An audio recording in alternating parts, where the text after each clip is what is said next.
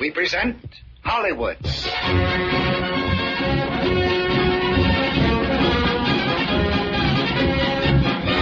We bring you a radio preview of Cecil B. DeMille's new technicolor drama, Northwest Mounted Police, starring Gary Cooper and Madeleine Carroll, with Paulette Goddard, Preston Foster, Robert Preston, Lynne Overman, and Akim Tamiroff.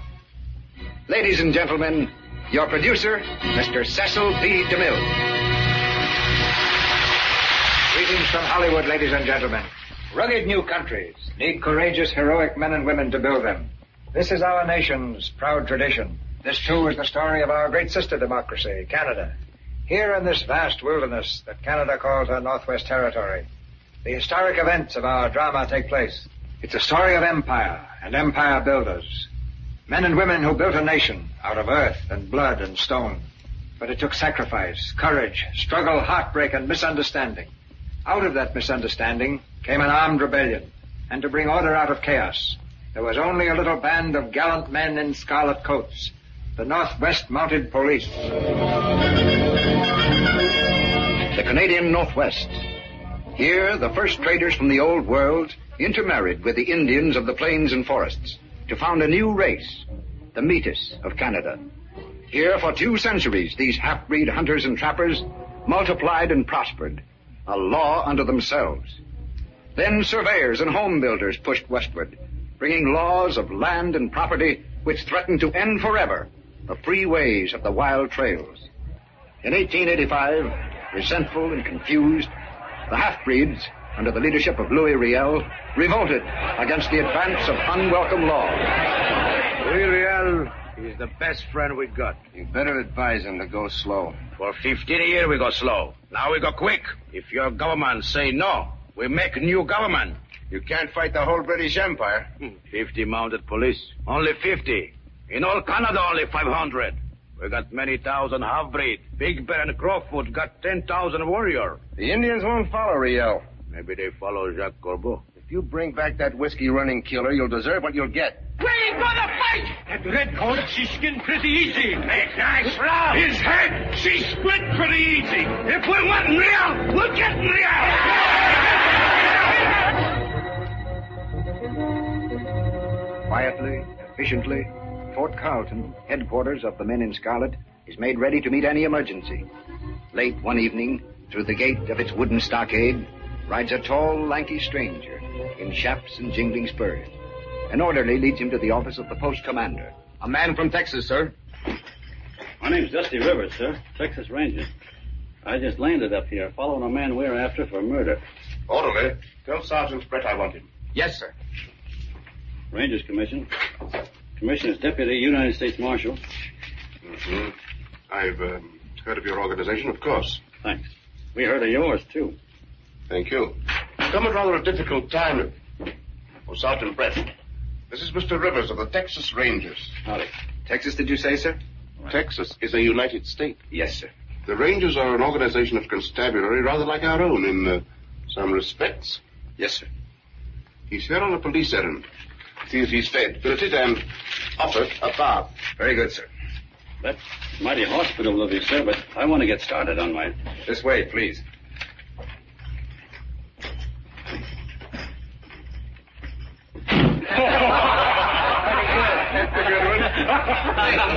Gentlemen, this is Mr. Rivers of the Texas Constabulary. Rangers. Hello, Clem. It seems another criminal has leaked out of the United States, and he's after him. Have your saddles ready for marching order in the morning. There may be action. Attention to roll call. Constable Ackroyd? Here. Adams? Here. Logan? Logan! He was slightly overheated and went out to get a little air. Ronnie Logan's out for air again, huh? Yeah, and I'll bet I know her name. You mean Louvette? Sure. That little half-breed devil's got him crazy. Ronnie, how you be so late? Sergeant put me on potato patrol. If each potato is other woman, I eat your heart out. Louvette, I was peeling one million potatoes just because I talked to you in Batoche.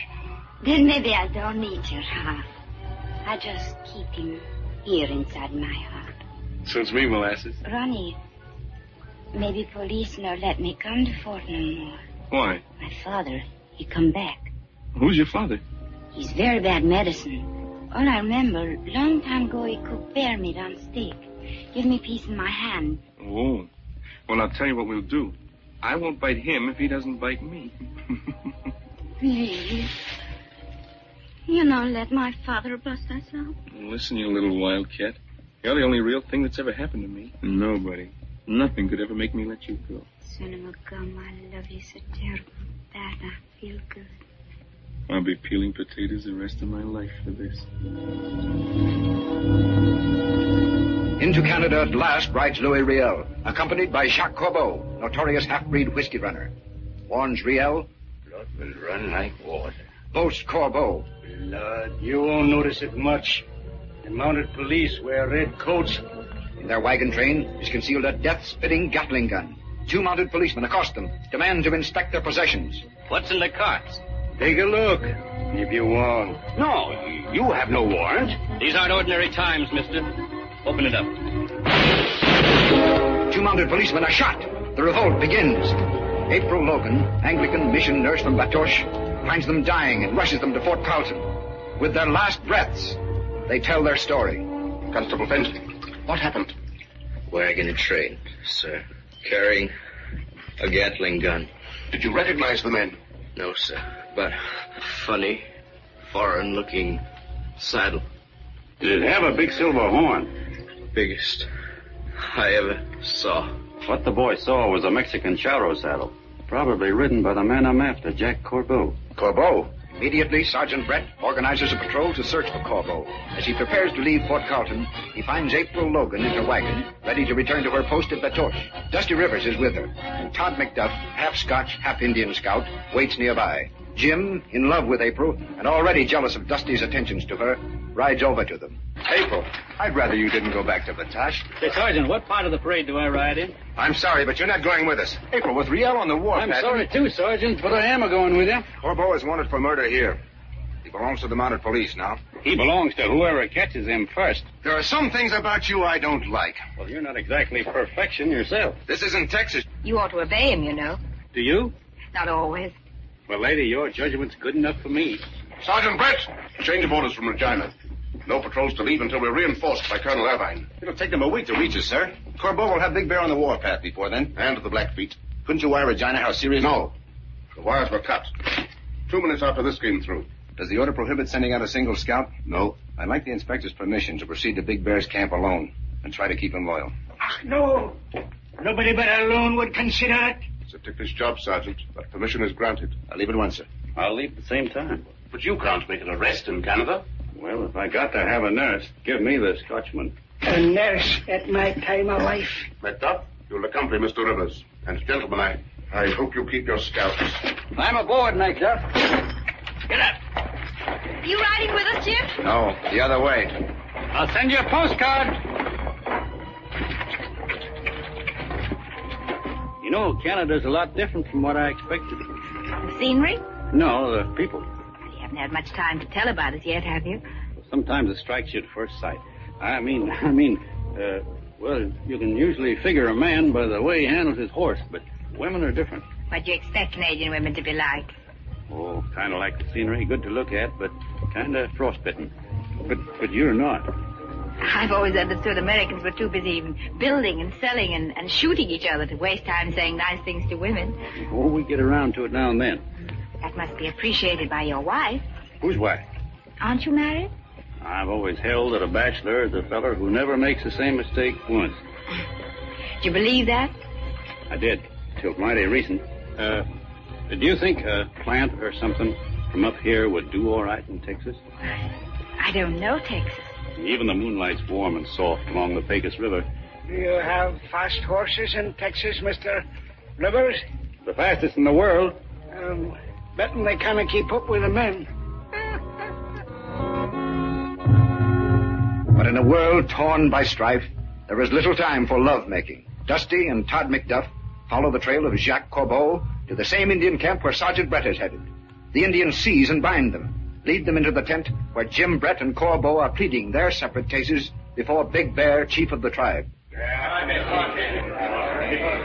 The Coquito. Who these men? Spies to count your men and horses. This man is no spy. He comes from far away to take Corbeau. who killed in his nation. Like mounted police want Corbeau because he has killed here. You afraid of redcoats? Their blood can spill like other men's. Now, look here, Chief. Uh, before you turn that man over to the mounted police, I got an order for his arrest. We got no war with Redcoat yet. But they no take away, my friend. You both come alone, you both go alone. Eku Simwe, Chief. Big Bear was a great chief. His friends will be sorry for him. now Big Bear will join his blood brothers and fight for Riel. Oskiwe. Big Bear, you're a great chief. Why, we heard of you way down in Texas. But how do you know who's the best fighter, the mounted police or Corbeau, the great killer of men? You better get out. Rivers. Kiamatik. Talk. Why, this feller's killed in Texas, and he's killed in Canada. He must be a great gunfighter. But has Big Bear ever seen him killed? How do you know all these yarns are true? I'll show you if they're true. He offers to show you. All right, let him kill now. Who he kill? Me. Oh, Slide my guns back in the cradles, untie my hands, and I'll hold them out. Then tell this tough man killer to go to it. Manishup. Husky Sigana. Manjdaf. He's great. Now tell him to kill. Nipaha. Go ahead, Corbeau, draw. Tell him to draw, Big Bear. He's been a bragging about all the folks he's going to kill. Tell him to start on me. Kill. Draw, you yellow polecat! You're a good hand at shooting men in the back. What's wrong now? I won't foul a great chief's lodge with the blood of a dog. He runs yapping across the trail to save his redcoat friends. But the medicine gun, she'll roll them all in the dirt. I have not seen this yet. Then look.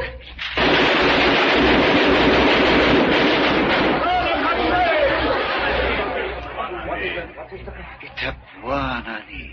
That gun's strong medicine. Before the sun has set three times, I'll bring you the red coats of the mounted police, made redder with their own blood and full of holes like a fishnet. Bring me in your hand their empty coat, red with blood, before three sun have set, and my brave will take the whopper. Before three suns have set, Corbeau will wear iron on his hands.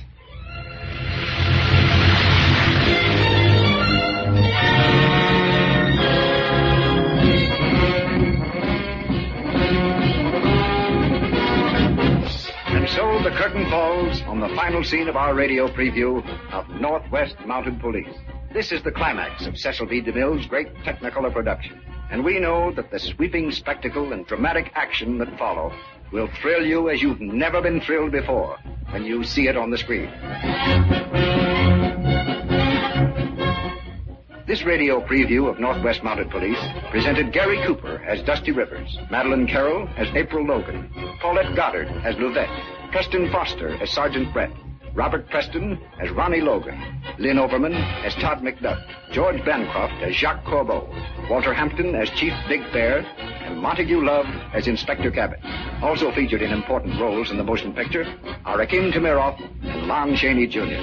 This preview was produced in the Paramount Studio in Hollywood. This is Melville Ruick speaking.